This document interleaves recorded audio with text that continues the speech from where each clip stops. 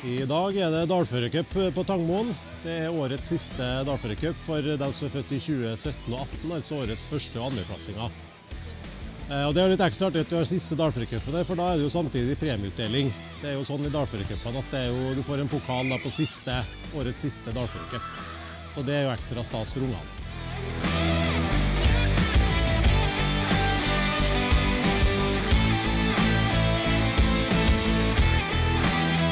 Dalførercupene er så viktig.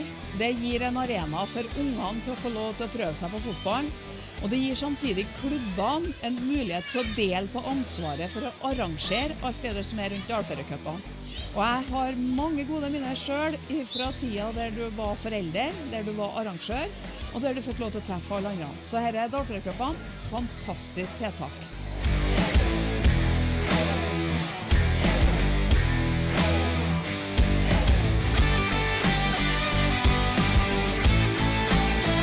Ja, Samarbeidet med Selbu Sparebank har jo vært veldig viktig for oss i Tangmoen i år. Eh, Selbu har jo støtta massevis av forskjellig utstyr til våre aller yngste lag. Spesielt da en sånn oppblåsbar eh, treerbane som brukes på trening her mange ganger i uka.